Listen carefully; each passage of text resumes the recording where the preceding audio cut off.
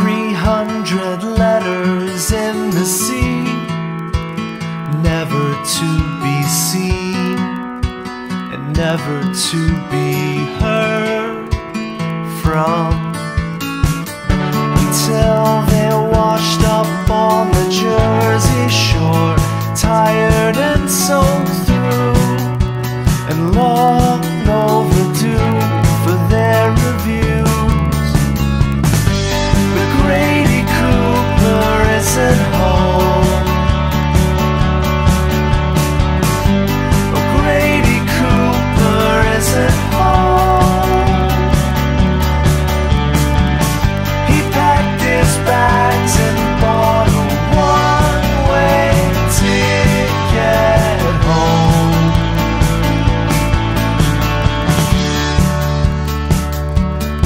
Try and keep up.